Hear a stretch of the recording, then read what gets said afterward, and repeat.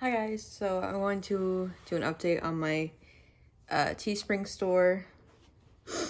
I decided to do like more canvases, so let me show you. Um, I'm going to do, sorry, I'm focus on this. So, okay. So I'm going to do Bible quotes, um, like on a canvas, but like have pictures that I've taken uh, as the background. For example, this here. Let me see if I can. Like this, like the quote would be like up here, you know?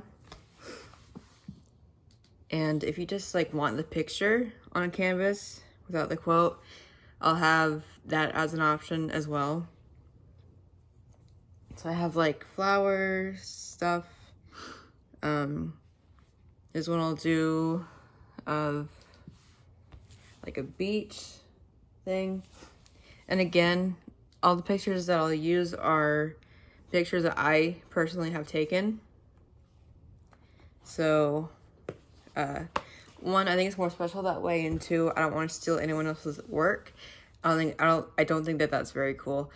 Um, so yeah, uh, once I launch them, I guess, I'll let you guys know. I'm not sure when I, when I will do it because I need to like figure out what Bible verses to do and all that. Um, but I'll keep you guys updated. So bye.